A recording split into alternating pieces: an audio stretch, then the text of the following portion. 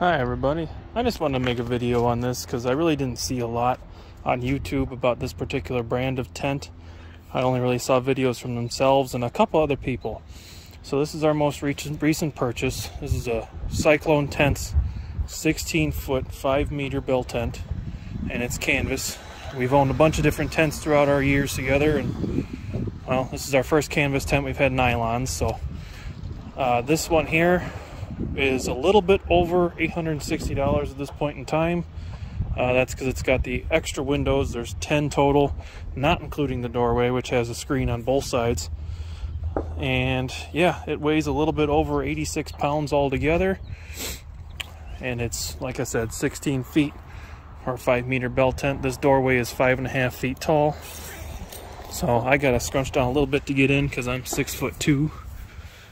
But this is the inside of it. Technically, it's 15 feet if you grab your tape measure from wall to wall. That center pole is a little bit over nine and a half feet tall, and it's about seven and a half feet from the center pole to each wall. So, these are your extra windows. I think the standard version has four, and it has a stove jack available. Um, this one here, no stove jack, but we're going to add it later. And it has the hooks all the way around on each seam. So we're going to use that to hang up some lights or whatever we really want. Um, they sell a model with the detachable floor. I'm guessing that's to hold that up. So, and these windows all have screens on them. There's no toggle to hold them in place. It's just a piece of strap, but that works pretty good. And this flooring is a very heavy PVC flooring. I'm not sure the thickness on it exactly, but it's about the equivalent of putting like two or three tarps down. And up top, the top of the center pole, which this is actually held together with cable inside instead of like your standard elastic like most of your pop-up tents are. And this is a pretty stout steel. And these hooks up here for hanging anything you want to.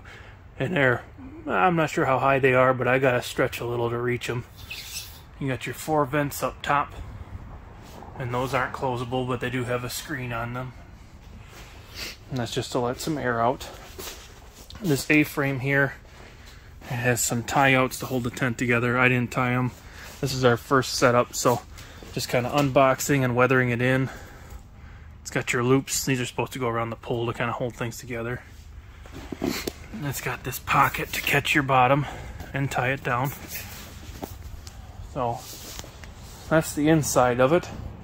Uh, first setup took me about 40 minutes, but that was just, it was a little bit toasty yesterday, so, and it was a little bit of a struggle. Like I said, it's kind of heavy, so the biggest struggle was getting that center pole up. But once I figured it out, it was pretty easy. One person can do it, no problem. So, but yeah, this is the inside. And then, yeah, here's your zippers. They're not YKK, but they're still pretty stout zippers. And the doorway opens all the way. And there's some toggles. I have this one kind of rolled out to hold everything back. And you can do the screen as well. It has toggles to tie back as well. It's a pretty wide doorway. You can have no problem getting an air mattress in here. If that's what you use. And these guy lines, they have a steel pole to them. It's first time with one of those on a tent. I usually had the plastic ones because, you know, the Gander Mountain specials. And that's the seal that kind of keeps rain out of this here. This is your A-frame. Got like a grommet there. Put that over top to keep the rain out. And another feature I didn't know about, and I wasn't really paying attention when I bought it, it has the loop all the way up there at the top. So you can actually suspend this thing from the center with a rope if you wanted to and stretch out from there. So, but there's your guidelines all the way around. There's a whole bunch of them, a lot of stakes. The only problem I've had so far with this thing is uh, we broke a stake right out of the box. I think it was just a manufacturer error. It snapped just pushing it into the soft dirt. So right now we're about 60 degrees in Illinois and a lot of rain, so everything's nice and soft. But yeah, there's it all set up. And the windows, you get a nice ventilation down low. You see right on through, right on through. but yeah, I'm sure going forwards I'll be able to set it up a lot faster. Like I said, it was about eh, 40 minutes or so to get it up the first time. And that's just not really reading any directions, just watching their videos on YouTube on how to set it up. I just want to put a video out there for anybody looking for one of these. This is the equivalent from all the American made companies are about double for a 16 foot. So, and this one, yeah, was just over $860 all said and done, and they're made in Australia. I didn't really want to do the Chinese ones that I've seen on some websites like the King Camp and whatnot because those were 400 or 500 dollars or so and I'd rather pay a little bit more for something that might be a little bit better quality.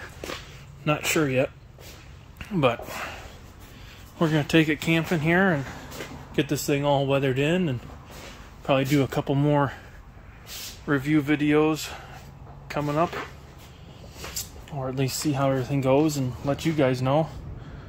And hopefully if you're searching for a bell tent this will help you out a little bit thanks for watching